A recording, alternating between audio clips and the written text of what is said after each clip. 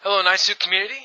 Uh, sorry for the terrible, like, military garbage radio sounding audio I have on this, but it refuses to use my normal microphone, so, so you're gonna have to deal for a sec. Sorry.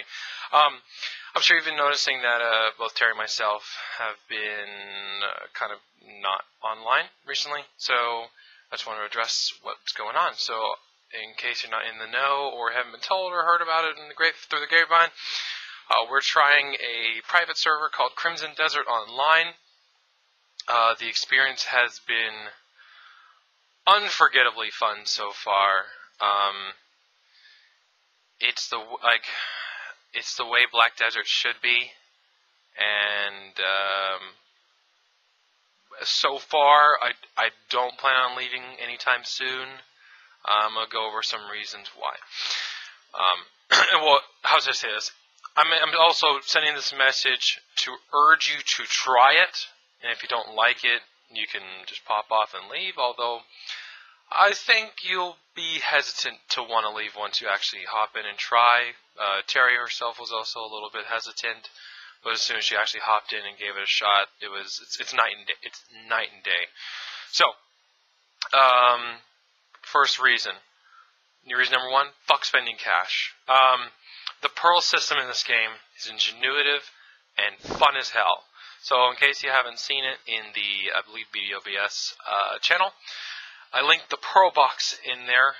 Um, it, it, basically, you do the little roulette that you do whenever you get a, a loot, item or one of those loot items in retail uh, BDO.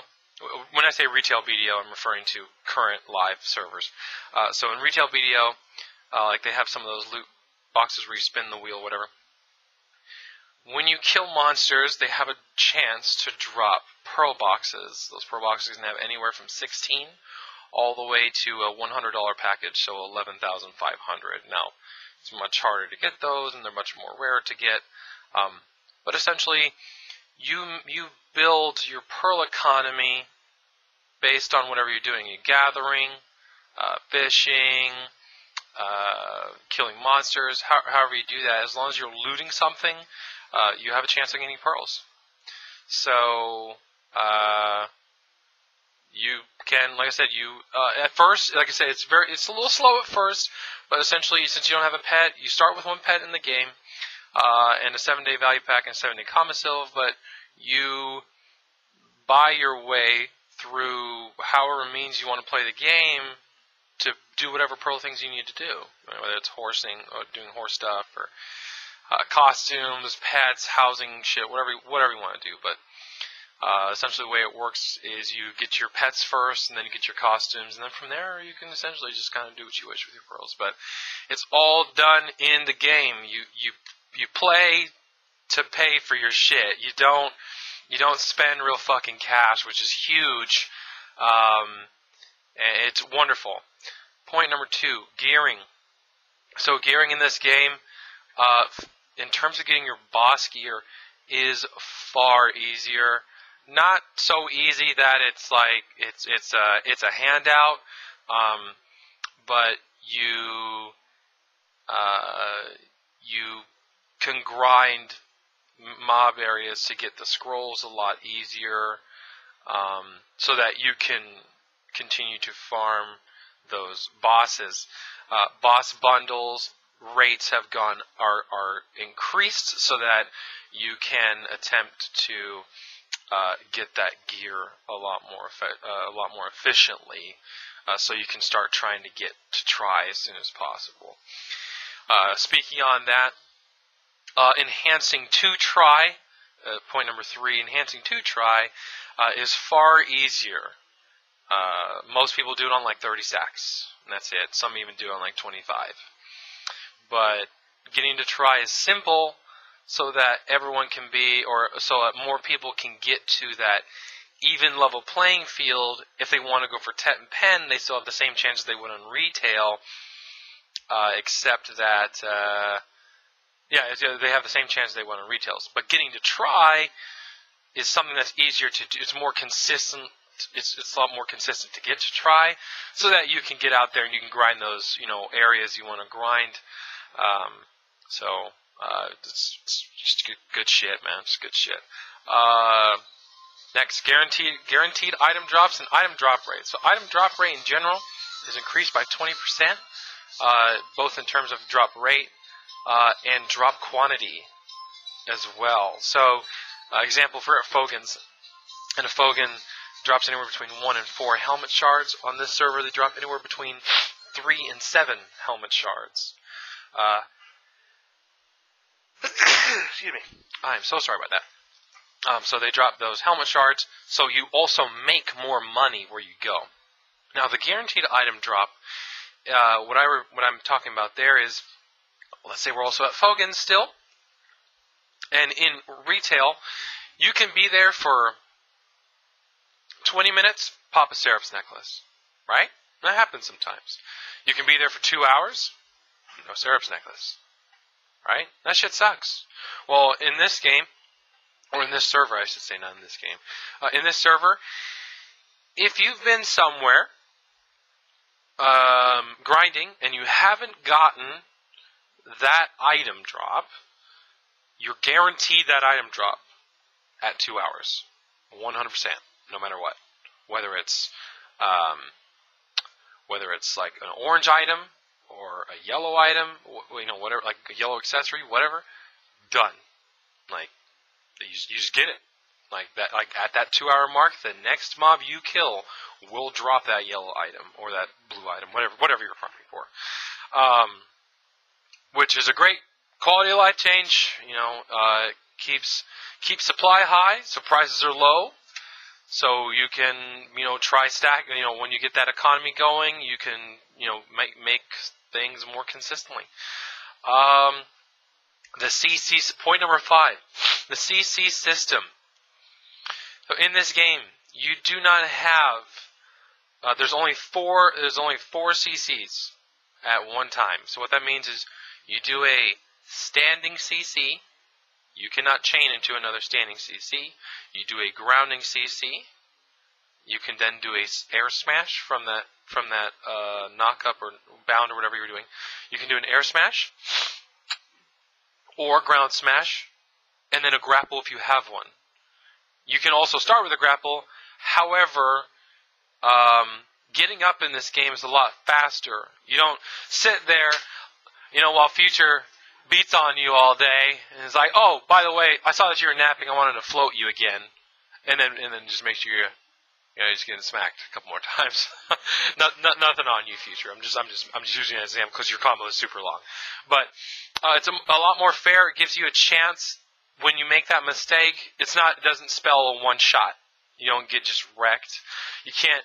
There is no nine or ten combo. No nine or no no nine or ten ability combos uh, that you can just do for days. It doesn't work that way.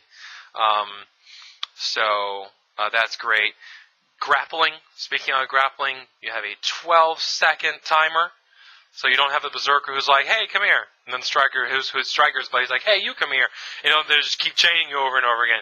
It doesn't work like that. If you use your grapple early, you might end up not being able to dish out as much damage as you want, and you have to pull off. So, like I said, a 12 second timer is a really long time. So all those grapple classes you used to just, oh, grapple down, grapple down. They really have to play a lot more methodical now. So, um, it's really, it's really actually been really fun. Uh, oh, class balance, uh, point number six, class balance in this game, uh, is, has been refined. Um, they don't have the archer yet, but the reason they don't have the archer is because they're redoing his numbers right now. Uh, so they retuned every class, uh, in terms of all the damage they do, has been reformatted so that it's easier to PvE grind. And the PvP has been scaled, all the damage reduced in PvP has been scaled for skirmish combat. So, um, because uh, the private servers aren't going to have, you know, the population that a retail server has, they rebalance the classes so that it's more towards 5v5, 1v1, 2v2, 3v3, 4v4, and 5v5 combat. So it's a lot more enjoyable. Um, like it's a lot more fair for every class. So you don't have, um, you don't have, you know, uh, well, just in general, it's more fair for every class. Like even put it this way, Terry and I uh, were able. Oh, speaking on that, they also have a testing realm. Uh, in the character creation, you have a premium character slot.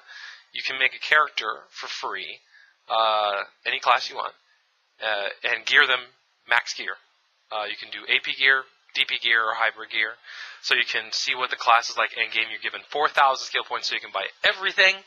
Um, and Terry and I were, were in the arena. She was on her witch. I made like a ninja just because I was like, I don't know what I'll make. I'll make a ninja, or you know what we would call a very strong one v one class.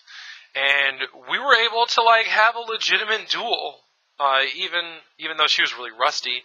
Uh, like I couldn't as a ninja, even though I was like I was trying to use the proper or you know retail proper combo, and it wasn't working. So it's a lot more you know, back and forth between people instead of just, oh, I got the CC, I'm most likely going to win. You know, so uh, it's a lot more fun. Now that has caused people, like in terms of like ninja, most ninja players have been a little upset about it because you know that's like the whole point of the ninja uh, and like assassin classes. But they're still like the, when they deal damage when someone's on the ground or whatever, they still deal really really high damage. It's nothing to laugh at. So um, it, it's it's a it's a nice change of pace.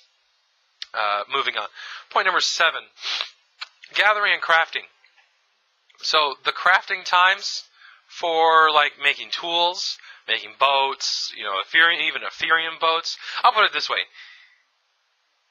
you could even Zube can make an Epheria sailboat. Not that he would, but like the timers from retail to here like, like just as an example, an Epheria ticket would take you with a goblin, even with a goblin, would take you around around three and a half hours to do a single certificate on, a, an Epheria sailboat. In this build, it only takes an hour and 25 minutes for a goblin to do that task. So that means is that boat takes about 60% less time to create, so it's realistic. Um, and the, gathering the materials for the boat. Speaking on that gathering, uh, this I guess this is mainly for Alice. Okay, Google, turn off alarm. Um, the um, the gathering in the game is uh, far more rewarding. So where Future or Zupe would usually say, fuck you, I'm not doing life skills, I'm not a life skill hoe. Um, even if they just went to Sheep Mountain right next to Heidel, no bullshit, I'm not even kidding you, in less than five hours, we went from, well, we went, uh, my buddy and I went from gathering beginner one to professional in about six hours. But yeah, it's just about six hours. So even at three hours, that still gets you to about skilled five, skilled seven. And with Luck 5, which you can go buy the gems in Calpheon, super easy. In three hours, we had over 20 of each, sharp and hard, within three hours. And that was going from beginner to skilled. After that, we were able to consistently, every time we'd go do a run, we get at least three of each shard. And a run would last no longer than 12 minutes. So, you do the math on how fucking great that is. But anyway, um, like you get to the point where you can sell sharps and hards during like during your downtime and just make passive money. It's it, it gets stupid, but anyway, that's that's on that note. Uh, number eight, the community is fucking awesome. They're super helpful, super nice. Um, or not. I'm not. I'm not gonna say it's like Final Fantasy, but they are very most of the time are very helpful and you know if you're stuck on something they'll help you or if you're got a question about if it's in the server if it's not in the server because of retail and private server you know very helpful people um, and, oh speaking of that uh, the boss spawns the both the bosses spawn they toggle back and forth between NA EU um, so you can switch between NA and EU there's only four channels there's NA NA EU standard, and there's NA Arsha and EU Arsha. Um, so when you're doing the like if you want to go do a world boss, the way they have it set up is so people will go. Let's say it's on NA. Like let's say it's Dimtree and Nouver NA. Well, because they spawn in pairs. You'll go to whichever one you want. Uh, then you'll uh, you'll go to Dimtree, and then on standard NA, and then you'll do Dimtree. Blah blah blah blah blah. You'll kill Dimtree. Then everyone switches over to Arsha because it's a, it's a separate NA channel, and then everyone goes together. So you basically have two chances to get an already increased drop chance on that boss gear so that you can get your boss gear and have a good time. Not only that, every single boss has a guaranteed pro box in it. Guaranteed. So, all the more reason to go do your your fucking bosses anyway. Uh, so that's really great. Uh, I should have touched on that earlier. My apologies. I don't mean to keep going and back and forth. Uh, and finally, level cap. Right now, they have a 60, level 60 level cap. They don't plan on increasing it for about six months, so that players have the opportunity to not get, you know, super duper far ahead and focus on gearing and gearing and gearing. Um, like you could argue that people would get bored and they'd want to hit 62 or whatever, but it gives everyone an equal opportunity to get level 60. And not only that, you know, like I said, if you don't have the time to hit level 62 like on retail and shit like that, it gives you the opportunity to, to you know, you don't have to worry about being out accuracy or having to out, you know, kit more accuracy just so you can hit somebody. Uh, it's already taken care of. Uh, so, right. Um, that is that. So, anything I'm left out? I don't think so. I'm trying to think anything else. Um, so let me know what you guys think. Uh, in if you'd be willing to try it. If not, I completely understand. Oh, yes, yes, yes, yes. Okay. If you're going to try this uh, server, do not log back into your retail BDO for a couple of days. Um, like so, like if you want to try retail, if you're going to go back to retail, let's say let's say you want to try it, and then you're like, oh, I don't want to do. it, I'm going to go back to retail. Um, you uninstall Crimson before you go back to retail, because what can happen is because you have Black Desert files that are not black de- really real black desert files technically. Like there's nothing legally wrong with having the private server but the problem is because you have black desert affiliated files if you try to run retail black desert and it sees that you have uh, altered files on your computer it can get you suspended or worst case banned.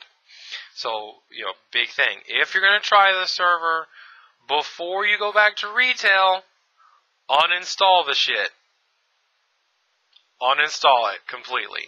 Once you uninstall, it's fine. But like I said, don't try and even like, oh, I'm gonna go back on retail. I'm just not gonna run that one in the background. Like it won't let you launch both at the same time. But don't even have one. Like if you're gonna try one, whatever, like you need to swap out the install. So that's fun too. Um, but yeah, that's all I got. If you have any other, if you have any questions, PM me. Um, like I said, I'm on another uh, Discord. The only reason I'm not on uh, our Discord right now is because, um, uh, yeah, the only reason I'm not on our Discord currently is because I wasn't sure if, you know, I want to use our Discord as the Crimson Desert online Discord, but that's only if most of you want to move over. If not, uh, I want to keep that uh, space open for you guys. I don't want to um, take that away from you. Um, so that that's that. Like I said, if you have any other questions, uh, just PM me and all that, and I'll uh, be happy to answer. them. Thanks for listening.